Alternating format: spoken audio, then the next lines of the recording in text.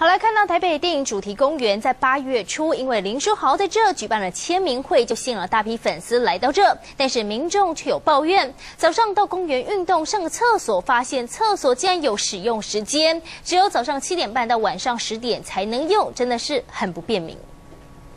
Let's go！哦耶！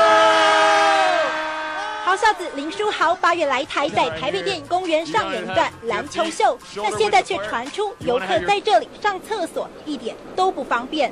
眼前的这间男生公厕竟然被限制时间，让来这里刚运动完、满身大汗的民众很不方便。有尿急的话啊，就不能上厕所，就觉得很不方便。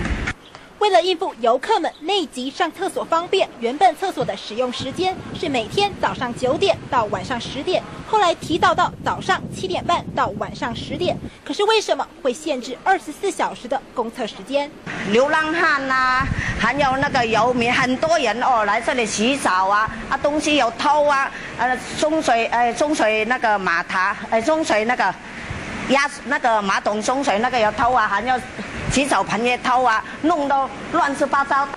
管理单位也说，这两年配合公园的营运，才会调整公厕开放的时间。但一个平日涌入三百人的公园，公厕竟然有时间限制，就怕贻笑大方。中天新闻陈建雄、张一华台北报道。